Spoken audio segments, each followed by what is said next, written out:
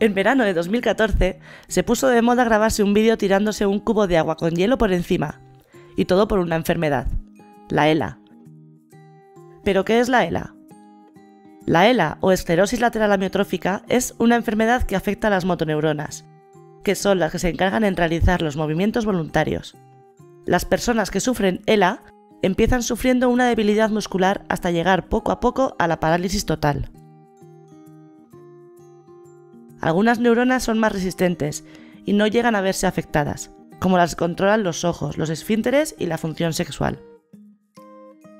Aunque no es una enfermedad dolorosa, aterroriza porque no hay tratamiento y los afectados son conscientes de todo lo que les está pasando. Las instrucciones que manda el cerebro al resto del cuerpo viajan a través del sistema nervioso como señales eléctricas, pasando de neurona en neurona hasta llegar a su destino.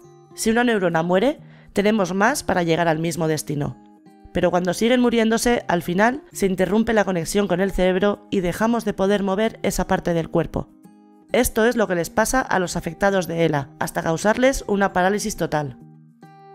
La ELA es una enfermedad rara. Y aunque en España se descubren dos o tres casos al día, no se sabe qué la causa. Sí que se sabe que hay dos tipos. En casi todos los casos, 90 o 95%, se presenta espontáneamente y sin un porqué. En el resto de los casos sí que se sabe que hay un componente genético, que afecta a una enzima antioxidante. El famoso físico Stephen Hawking fue diagnosticado de ELA cuando tenía 21 años. Él empezó tropezándose muy a menudo, por lo que fue al médico. Al ser muy joven, universitario, inicialmente el doctor le dijo que dejara la cerveza. Stephen Hawking es un ejemplo de cómo esta enfermedad afecta solo al cuerpo y no a las capacidades mentales. Si queréis saber más sobre la ELA, visitad los enlaces que os hemos preparado en la descripción. Ante cualquier duda, consulta a tu médico, estará encantado de ayudarte.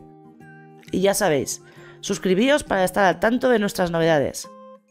Nuevo vídeo próximamente. ¡Nos vemos!